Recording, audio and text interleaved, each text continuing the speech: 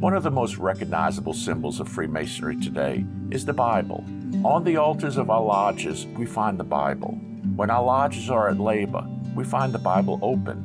We sometimes forget or don't think about the significance of the Bible being open on our altars. The simple fact is, you can't read a closed Bible. In order to read the Bible and know what's in it, you must open it. That is exactly what was not permitted during the Dark Ages.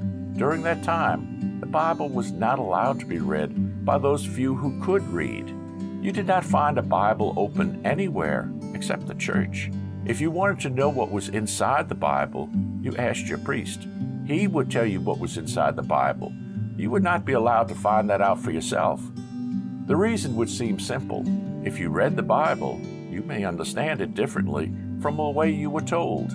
That was the last thing that was wanted. To control religion, you must control who reads the Bible.